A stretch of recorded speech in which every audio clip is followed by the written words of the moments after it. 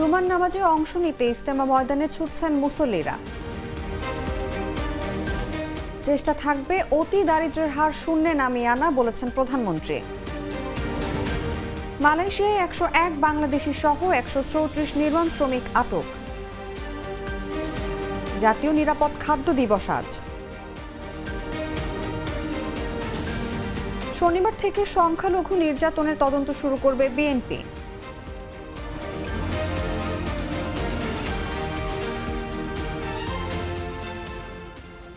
এতক্ষণ শুনছিলেন সংবাদ শিরোনাম। দর্শক আমন্ত্রণ বেলা এগারোটা সংবাদে। সাথে আছি আমি অনুভা বিশ্বাস।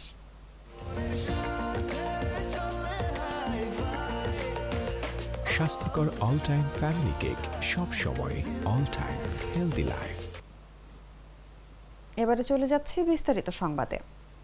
বিশ্ব ইস্তেমা ময়দানে আজ এক জামাতে দেশের সর্ববৃহৎ জুমার নামাজ আদায় করা হবে। এতে প্রায় দশ লাখ মুসল্লি শরিক হয়ে জুমার নামাজ আদায় করবেন বলে ধারণা করা হচ্ছে।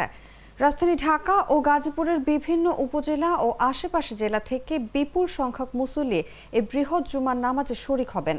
ইতোমধ্যে অনেকে টঙ্গী ও আশেপাশের বিভিন্ন আত্মীয় স্বজনের বাসায় অবস্থান নিয়েছেন। দোসরা ফেব্রুয়ারি ইস্তেমার প্রথম দিন শুক্রবার হওয়ায় ছুটির দিনে বৃহৎ জামাতে অংশ নেওয়ার জন্য সকাল থেকে বিভিন্ন এলাকার মানুষ ইস্তেমা ময়দানের দিকে ছুটছেন। বৃহস্পতিবার কয়েক দফা বৃষ্টিতে মুসল্লিদের দুর্ভোগ হলেও কেউ ময়দান ছেড়ে যাননি। বৃষ্টির মধ্যেও মুসল্লিদের উদ্দেশ্যে বয়ান অব্যাহত থাকে। বাংলা, উর্দু, হিন্দি, আরবি, ইংরেজি সহ বিভিন্ন ভাষায় এসব বয়ান অনুবাদ করে শোনানো হচ্ছে।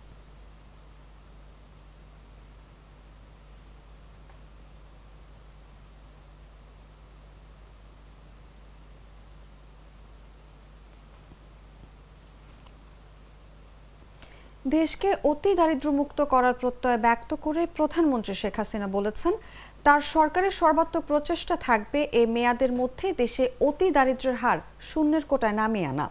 বৃহস্পতিবার সন্ধ্যায় গণভবনে বাংলাদেশে নিযুক্ত বারোটি দেশের অনাবাসিক রাষ্ট্রদূত প্রধানমন্ত্রীর সঙ্গে সৌজন্য সাক্ষাৎ করেন। এ সময় তিনি এ কথা বলেন। পরে প্রধানমন্ত্রীর উপপ্রেস সচিব এম এম ইমরুল কায়েস সাংবাদিকদের ব্রিফ করেন। আওয়ামী লীগ সরকার একেবারে তৃণমূল থেকে উন্নয়ন নিশ্চিত করছে জানিয়ে প্রধানমন্ত্রী বলেন, যদি প্রান্তিক জনগোষ্ঠীকে উন্নয়নে অন্তর্ভুক্ত করা যায়, সারা দেশ উন্নত হবে এবং জনগণ তার সুফল পাবেন। বাংলাদেশ পরিসংখ্যান ব্যুরোর সর্বশেষ তথ্য অনুযায়ী, দেশে দারিদ্র্যের হার কমে আঠেরো দশমিক সাত শতাংশ এবং অতি দারিদ্র্যের হার পাঁচ দশমিক ছয় শতাংশে নেমে এসেছে। আগে দেশে দারিদ্র্যের হার বেয়াল্লিশ শতাংশের বেশি ছিল। দুস্থ নারী, বিশেষ করে স্বামী পরিত্যক্তা, বিধবা নারী সহ সমাজে অসহায় মানুষকে সামাজিক নিরাপত্তা বেষ্টনী প্রকল্পের আওতায় সহায়তা সহ দারিদ্র্য বিমোচনে সরকারের বিভিন্ন কর্মসূচির কথা উল্লেখ করেন প্রধানমন্ত্রী।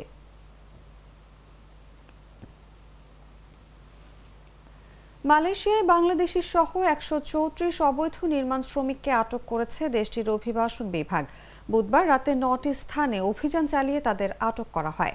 বৃহস্পতিবার মেলাকার ইমিগ্রেশনের পরিচালক অনির্বাণ ফৌজি মোহাম্মদ আইনি এক বিবৃতিতে বলেন, জনসাধারণের অভিযোগ এবং বিদেশিদের আগমন সংক্রান্ত গোয়েন্দা তথ্যের ভিত্তিতে অভিযান চালিয়ে তাদের আটক করা হয়। একজন নারী সহ আটকদের মধ্যে একশো একজন বাংলাদেশি, ছাব্বিশ জন ইন্দোনেশিয়ার ছয়জন মিয়ানমারের এবং একজন নেপালি নাগরিক। তাদের বয়স পঁচিশ থেকে আটচল্লিশ বছর। জাতীয় নিরাপদ খাদ্য দিবস আজ শুক্রবার। প্রতি বছর বাংলাদেশ নিরাপদ খাদ্য কর্তৃপক্ষ দিবসটি পালন করে আসছে। এবছরের প্রতিবাদ্য স্বাস্থ্য, পুষ্টি ও সমৃদ্ধি চাই। নিরাপদ খাদ্যের বিকল্প নাই। দু সালে দেশে প্রথমবারের মতো পালিত হয় নিরাপদ খাদ্য দিবস। ওই বছর সব শ্রেণি পেশার মানুষকে নিরাপদ খাদ্যের বিষয়ে সচেতন করে তোলার অংশ হিসেবে দোসরা ফেব্রুয়ারিকে জাতীয় নিরাপদ খাদ্য দিবস হিসেবে ঘোষণা করা হয়। জাতীয় নিরাপদ খাদ্য দিবস পালনের মূল লক্ষ্য হচ্ছে মানুষের জীবন ও স্বাস্থ্য সুরক্ষার জন্য নিরাপদ খাদ্য প্রাপ্তির অধিকার নিশ্চিত করা। এছাড়া বিএফএস এর সম্পর্কে সর্বসাধারণকে জানানো এবং নিরাপদ খাদ্য উৎপাদন আমদানি, প্রক্রিয়াকরণ, মজুদ, সরবরাহ, বিপণন ও বিক্রয় সংশ্লিষ্ট কার্যক্রম বিষয়ে সর্বস্তরে জনসচেতনতা বৃদ্ধি করাই এ দিবসের মূল উদ্দেশ্য।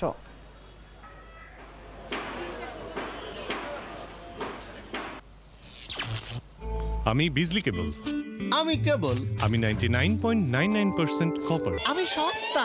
আমি বুয়েট ও আইএসও সার্টিফাইড আমি সস্তা। আমি অগ্নি প্রতিবন্ধক তাই নিরাপদ। আমি সস্তা সস্তা সস্তা সস্তা সস্তা। তাই নিরাপদ কেবল মানে বিজলি কেবলস বিজলি কেবলস নিরাপদ আজীবন। সাতই জানুয়ারি নির্বাচনে সংখ্যালঘুদের উপর নির্যাতনের অভিযোগ এনে বিএনপির গঠিত কমিটি শনিবার থেকে তদন্ত কার্যক্রম শুরু করবে। বিএনপির মিডিয়া সেলের সদস্য সায়রুল কবির খান এ তথ্য জানিয়েছেন। সায়রুল কবির বলেন, শনিবার সকালে ঢাকা থেকে ফরিদপুর ও খুলনা বিভাগে সরেজমিনে তদন্ত করতে যাবেন কমিটির সদস্যরা। প্রথমে ফরিদপুরে যাবেন তারা। দলের ভাইস চেয়ারম্যান নিতাই রায় চৌধুরীর নেতৃত্বে তদন্ত কমিটিতে অন্যদের মধ্যে রয়েছেন সহ ধর্ম বিষয়ক সম্পাদক অমলেন্দু অপু সুপ্রিম কোর্ট আইনজীবী সমিতির সাবেক সাধারণ সম্পাদক রুহুল কুদ্দুস কাজল ঢাকা জেলা বিএনপির সাধারণ সম্পাদক নিপুণ রায় চৌধুরী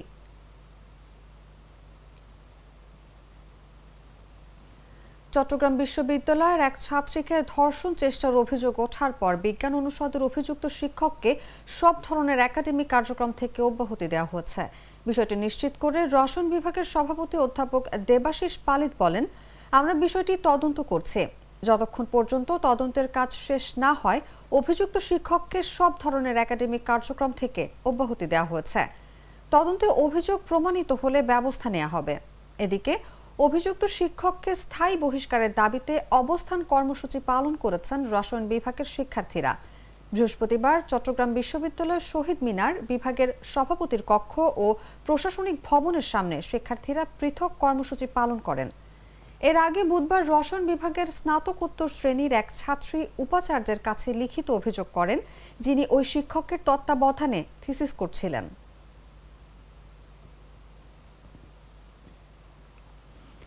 প্রধানমন্ত্রী শেখ হাসিনা ঘোষিত উন্নত সমৃদ্ধ স্মার্ট বাংলাদেশ বিনির্মাণে দুই দিনব্যাপী গোল টেবিল বৈঠক করবে বাংলাদেশ আওয়ামী লীগের বিজ্ঞান ও প্রযুক্তি বিষয়ক উপকমিটি।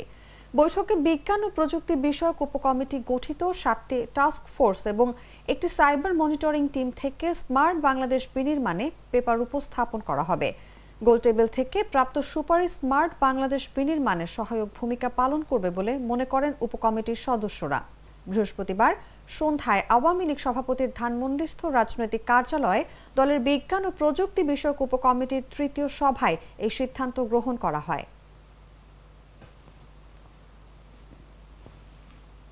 জানাব আন্তর্জাতিক সংবাদ।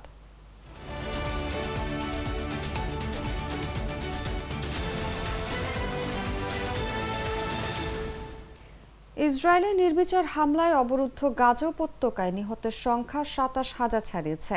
গত সাত অক্টোবর ইসরায়েল হামাস সংঘাত শুরুর পর থেকে গত বৃহস্পতিবার পর্যন্ত সাতাশ হাজার উনিশ জন ফিলিস্তিনিকে হত্যা করেছে ইসরায়েলি সেনারা। শুক্রবার গাজার স্বাস্থ্য মন্ত্রণালয়ের বরাতে এ তথ্য জানিয়েছেন বার্তা সংস্থা এফপি। গাজায় নিহতের বেশিরভাগই নারী ও শিশু।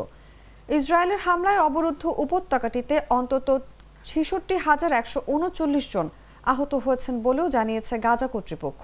এদিকে, বার্তা সংস্থা ওয়াফার বরাতে কাতার ভিত্তিক সংবাদ মাধ্যম আল জাজিরা জানিয়েছে, বৃহস্পতিবার রাতে পশ্চিম তীরের জেনিন, নাবলুস ও হেব্রন শহরে অভিযান চালিয়েছে ইসরায়েলি বাহিনী। তিনটি শহরে বাড়ি বাড়ি ঢুকে তল্লাশি চালানো হয়েছে। এর মধ্যে জেনিনের শরণার্থী ক্যাম্পে সশস্ত্র সংঘর্ষের খবর পাওয়া গেছে। তবে এখন পর্যন্ত কাউকে গ্রেফতারের খবর জানা যায়নি।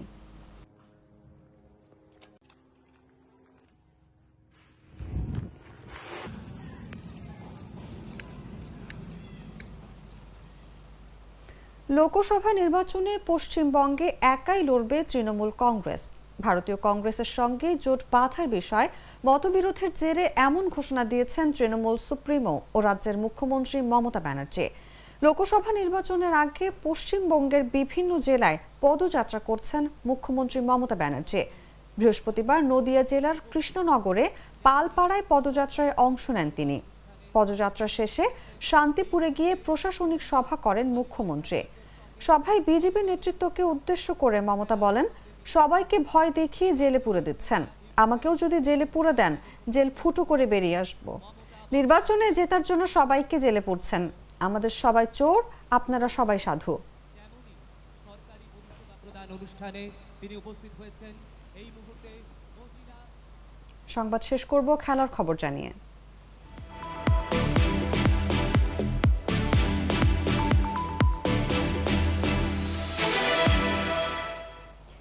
ইনজুরির কারণে আল নাসরের প্রধান তারকা ক্রিস্টিয়ানো রোনালদো খেলতে পারবেন না সেটাই আগেই জানা ছিল। যে কারণে এই ম্যাচে সবাই লিওনাল মেসিকে দেখতে এসেছে। তবে মেসিকে খেলা শুরুর একাদশে না দেখে হতাশ হয়েছেন দর্শকরা। তখন হয়তো সবাই ভাবছিলেন, কিছুক্ষণ পর মাঠে নামবেন মেসি। কিন্তু না, দর্শকদের সেই ধারণাও সত্যি হলো না। মাঠে নামলেন না মেসি। এমনকি বিরতির পরও আর্জেন্টাইন বিশ্বকাপ জয়ী তারকা মাঠে নামেননি। এদিকে একের পর এক গোল হজম করে যাচ্ছে মেসির দল ইন্টার মিয়ামি। অবশেষে ম্যাচের তিরাশি মিনিটে মনে হয় নিজেকে দেখানোর জন্যই মাঠে নামলেন মেসি। ততক্ষণে ইন্টার মিয়ামির জালে ছবার বল জমা করেছে রোনালদোহীন আল নাসের ফুটবল প্রেমীরা ভেবেছিলেন সৌদির মাঠে কঠিন লড়াইয়ে নামবেন আল নাসের ও মিয়ামি। কিন্তু ম্যাচ হলো পুরোপুরি এক পেশে। মিয়ামিকে ছয় শূন্য গোল উড়িয়ে দিয়েছে সৌদি প্রো লিগের ক্লাব আল নাসের শেষ দিকে মেসির কয়েকবারের চেষ্টাও রুখে দিয়েছে রোনালদোর দল।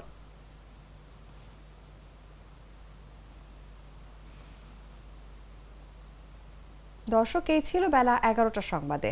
এতক্ষণ সাথে থাকার জন্য ধন্যবাদ সবাইকে।